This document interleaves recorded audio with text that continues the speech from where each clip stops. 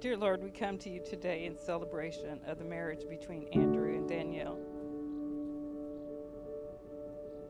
We ask the Lord that they commit their lives to each other and that they, you will bless them and their marriage.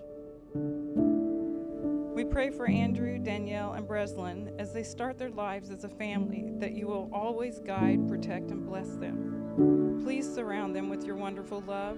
Thank you, Lord, for being such an awesome God. In your name we pray.